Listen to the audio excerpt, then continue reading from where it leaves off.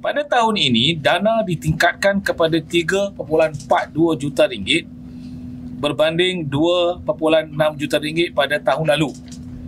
Menunjukkan kesungguhan kerajaan negeri untuk terus menyokong meningkatkan prestasi akademik pelajar di negeri ini. Program ini menyasarkan 27,432 pelajar yang terdiri daripada calon-calon sijil pelajaran Malaysia SPM, calon-calon sijil tinggi pelajaran Malaysia STPM, calon-calon sijil tinggi agama Malaysia STAM dan juga pelajar kolej vocational di seluruh negeri Perak. Ini TVET ni eh.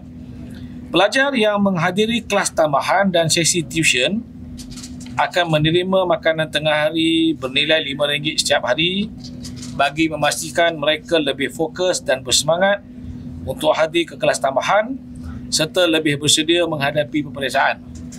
Selain memberi impak positif kepada pencapaian akademik, program ini juga meringankan beban kewangan ibu bapa, menyediakan nutrisi yang diperlukan oleh pelajar dan memperkukuhkan kerjasama antara PIBG serta Persatuan Ibu Bapa Kolej Vocational PIBKS dalam menyokong kejayaan pelajar di negeri ini.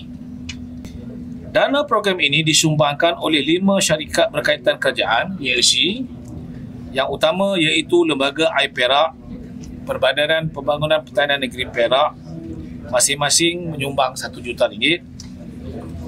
Perbadanan Menteri Besar MB Ing menyumbang RM700. Perbadanan Setiausaha Kerajaan Negeri SSI menyumbang RM500 dan juga Perbadanan Kemajuan Negeri Perak PKNP sebanyak RM220.